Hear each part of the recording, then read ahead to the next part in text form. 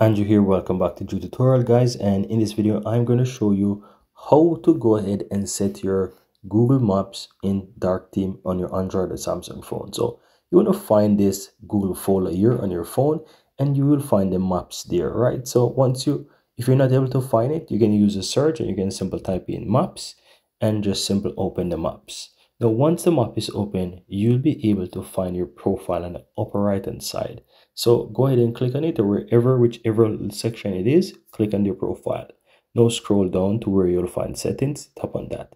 Then you'll have the option that says themes. So and you can see right below that it says always in light theme. So if you tap on that, you have the options to always put it in dark or same as device. Now I'm going to simply tap on always in dark theme then click and save. And there you have it. It is now in the dark theme. And as you can see i'm using it and it's currently in dark theme to put it back. It's very easy. Click on that. Profile in the upper right hand side. Go to your settings then themes and you can put it back into light mode then save. And that's it. Very easy and very simple guys